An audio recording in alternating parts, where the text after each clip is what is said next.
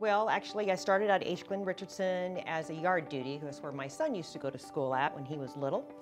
Um, and then from there, um, I had an opportunity to work with the food services. At the time, it was called Food Services. And I've already been in the food industry most of my life, coming from Nevada. Um, I've worked in the casinos and all that type of stuff, so I'm already familiar with that. A typical day is very busy. It's nonstop on your feet, running and running. Um, you spend most of the day with deliveries, preparing food for the children.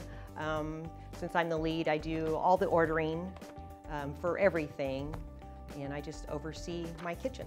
Um, I think that my contribution to my position is mostly for the kids because to me, I show up every day with a smile on my face and I contribute that to the kids of being nice and happy and with a smile. And in turn, I get that right back from them. And to me, it makes my day if I could make the kids happy and to smile. I think it's great. They're the best group of kids I've ever worked with. I've worked at a few schools before, and don't get me wrong, I love all the kids at all the schools. Um, these kids just, I think, are probably a little more different because it's a different environment there. Um, the benefits is basically, I guess I've learned a lot about nutrition since I work in the food uh, business area. And I think one of the greater benefits is actually the fact that I get to teach the kids about nutrition too. You know, how to eat healthy, and we introduce them to all these different types of fruits and vegetables, some that I've never even heard of before. So for me, that's a benefit that I can give back to them. So it benefits me and it benefits them.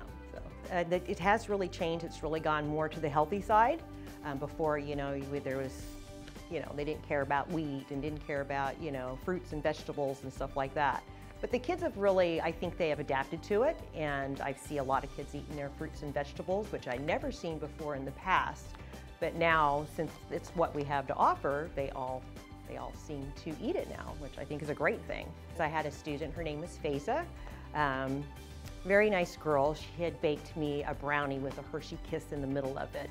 And with it was attached a note telling me, thanking me for always having a smile on my face and being happy and having a positive attitude that, and she told me that it always made her day.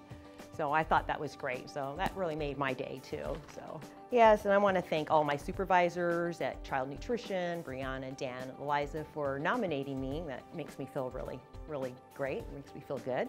And also would like to uh, congratulate PSA staff. Everybody there's been so wonderful and they said lots of wonderful things about me also. So, and also I want to thank all the kids too because it wasn't for them, I wouldn't have my job.